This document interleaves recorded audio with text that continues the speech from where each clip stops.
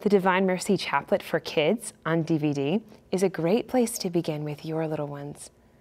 This EWT EWTN original production features St. Faustina teaching her young friends, Kristen, Enrique, and others about the Divine Mercy devotion, and it outlines how to pray the chaplet.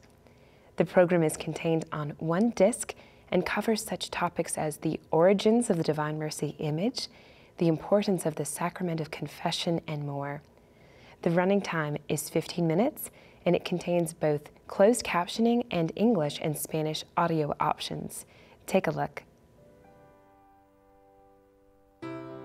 Sister Faustina, what does divine mercy mean? Divine mercy is God's forgiveness when we're not good Catholics or when we don't do what we should, obeying our parents, studying, helping others.